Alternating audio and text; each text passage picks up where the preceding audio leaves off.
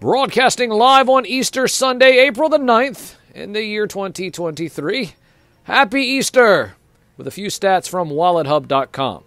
Starting with more than half of parents will make Easter baskets for their kids, with 90% of those baskets including chocolate or candy.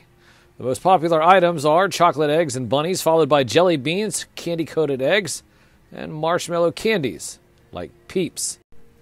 Speaking of chocolate bunnies, 78% of people start with the ears.